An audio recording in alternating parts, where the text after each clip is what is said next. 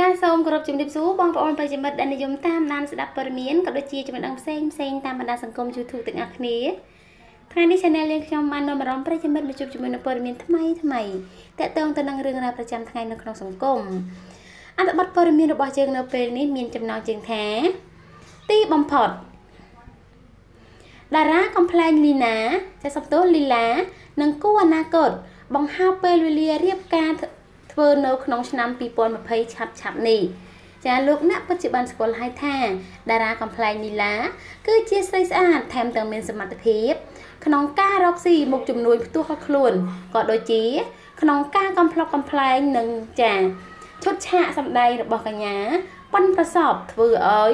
អ្នកគាំទ្រជាច្រើនចាប់អារម្មណ៍ជាខ្លាំងពេលនេះ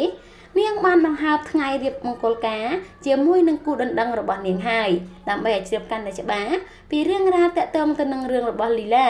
សូមប្រិយមិត្តតាមដានទាំងអស់គ្នាជាមួយខ្ញុំក្នុងអត្ថបទព័ត៌មាននេះតែមុននឹងឈានចូលដល់ព័ត៌មានកាន់តែលម្អិតសូមប្រិយមិត្តជួយ Subscribe ឲ្យ Channel យើងខ្ញុំម្នាក់មួយផងចុច Subscribe រួចហើយសូមកុំភ្លេចចុចនូវសញ្ញាកណ្ដឹងដើម្បីងាយស្រួលក្នុងការទទួលបានព័ត៌មានក៏ដូចជាចំណេះដឹងផ្សេងផ្សេងមុនគេបង្អស់ផងដែរពី Channel យើងខ្ញុំ ចារយៈពេលជាច្រើនឆ្នាំមកនេះតារាកំ pl ែងវ័យក្មេងដ៏មានប្រជាប្រិយភាពគឺកញ្ញាវ៉ាន់លីឡា និងគូស្នេហ៍បានសាងក្តីស្រឡាញ់រវាងគ្នាតស៊ូទៅជាមួយគ្នា និងផ្អែមល្ហែមខ្លាំងពីមួយថ្ងៃទៅមួយថ្ងៃដោយឡែកប្រិយមិត្តជាច្រើនប្រកាសជាបានជ្រាបហើយថា កាលពីពេលកន្លងទៅថ្មីថ្មីនេះដែរតារាស្រីរូបនេះនិងគូស្នេហ៍ បានជួបជុំគ្រួសារទាំងសងខាងគិតគូរពេលវេលាសម្រាប់កូនប្រុសស្រី ស្របពេលដែលនាងបានបញ្ចេញរូបថត free wedding យ៉ាង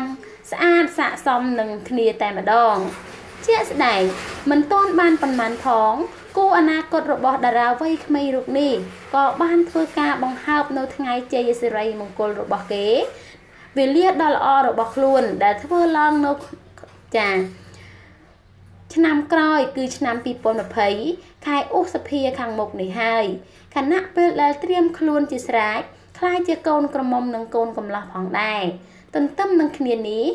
ដែរអ្នកគ្រប់គ្រងជាច្រើនពិតជារំភើបចំនួននាងនិងចូលរួមអបអរសាទរដល់អ្នកទាំងពីរ